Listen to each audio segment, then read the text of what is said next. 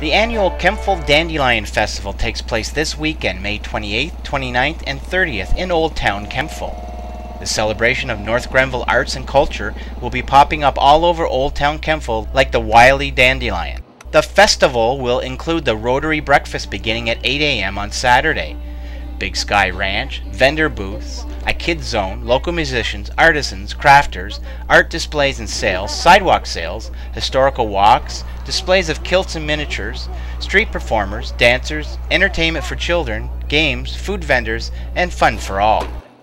In addition, the annual Veg Stock will take place this weekend during the Dandelion Festival, the musical and culinary launch of the Kemptville's Farmers Market.